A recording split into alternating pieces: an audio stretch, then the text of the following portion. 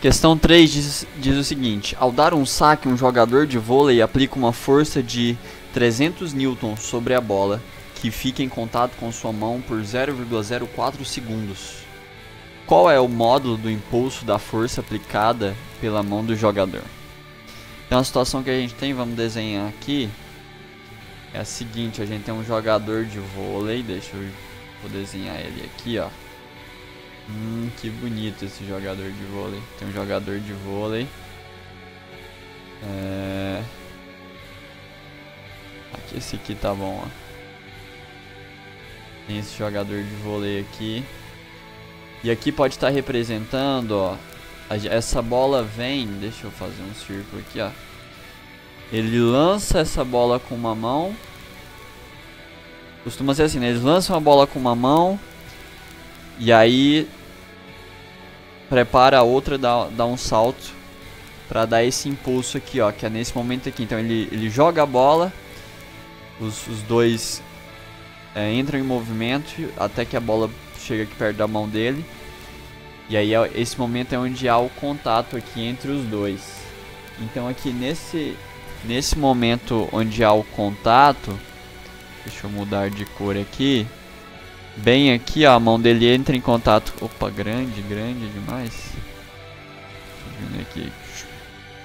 A mão dele entra em contato aqui, ó, e exerce uma força. Exerce uma força. E o, o exercício diz que exerce essa força em um intervalo de tempo igual a 0,04 segundos. Ele está perguntando então qual é o impulso. Qual é o módulo do impulso? Ele quer saber o módulo. Pode botar assim, ó, o módulo de I. Qual é o módulo do impulso? Qual é o módulo desse impulso? E a gente sabe então que a equação aqui, ó, deixa eu pegar ela, tá pronta de cá. Deixa eu excluir essa aqui. Copiar essa de cá, LaTeX. Aqui também. Edit Math.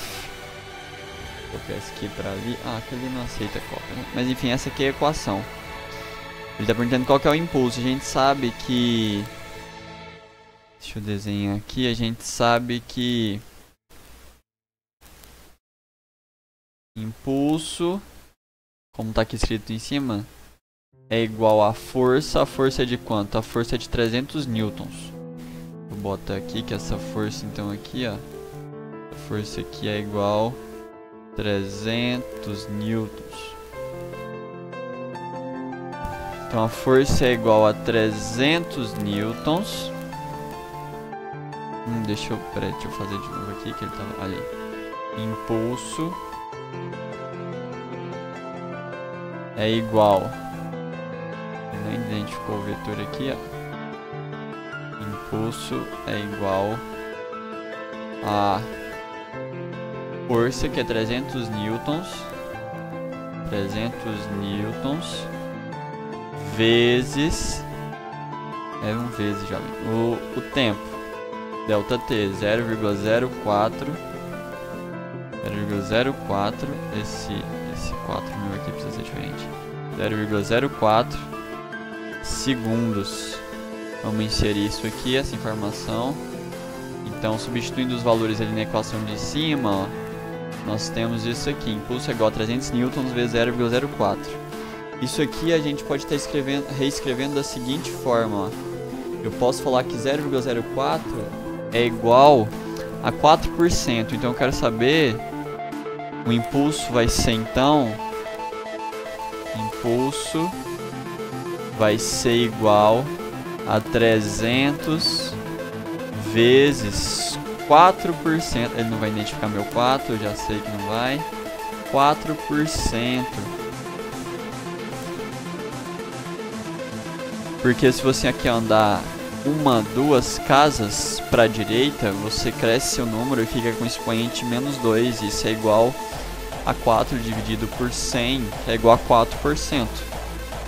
E aí agora a gente precisa saber então eu não sei se fica mais fácil para você, assim, eu gosto de pensar dessa forma, 4% de 300.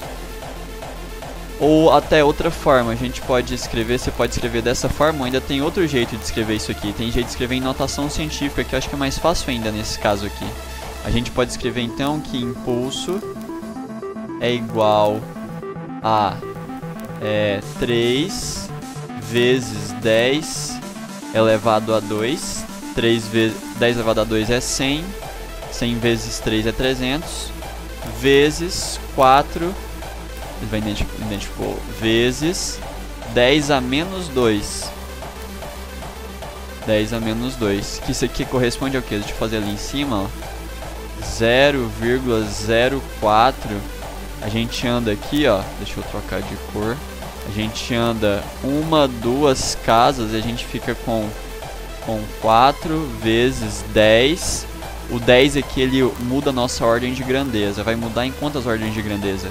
Menos duas ordens de grandeza. Esse menos vem do fato que a gente aumentou o nosso número. Então a gente ficou meio com uma dívida. Isso aqui é igual a representar 4 dividido por 10 ao quadrado.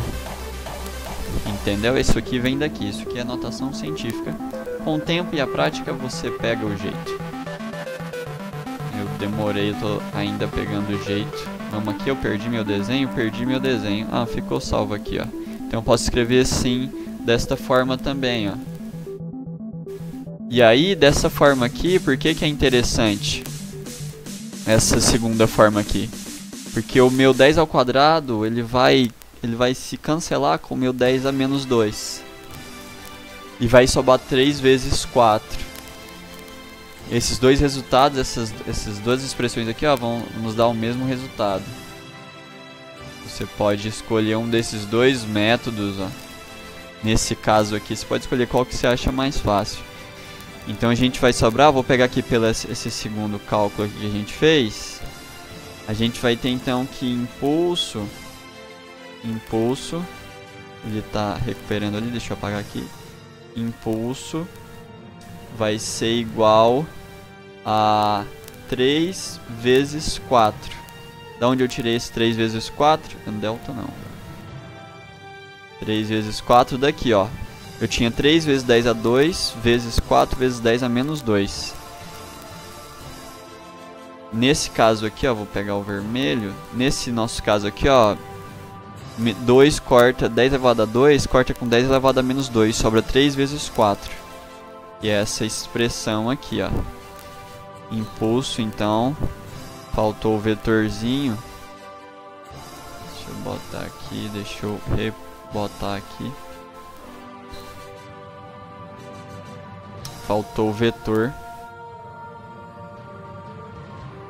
Deixa eu reescrever isso aqui impulso. Já vou colocar o módulo, inclusive, aqui, porque aqui a gente não tem a direção e o sentido, né? Então aqui está faltando isso, representar a direção e o sentido. Eu vou botar aqui, ó, já o módulo do impulso é igual a 3 newtons, vou botar com a unidade, 3 newtons, vezes 4, ah não, 4, 4 segundos start math. Isso aqui costuma dar 3 vezes 4 costuma dar 12. Então nós chegamos dessa conta super difícil aqui, ó, 300 vezes 0,04 em uma, uma conta de 3 vezes 4 que a gente já sabe fazer assim com uma certa precisão. Isso aqui dá o que? O módulo desse impulso e ali considere como módulo os anteriores também, é igual a 12 newtons vezes segundo. Aqui então é a resposta da nossa questão.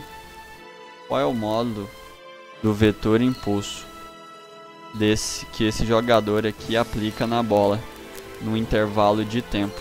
Então, no intervalo de tempo que ele tem contato com a bola 0,04 segundos, aplicando uma força de 300 newton, o módulo desse impulso é de 12. 12 newtons vezes segundo. Certo? Até o próximo exercício.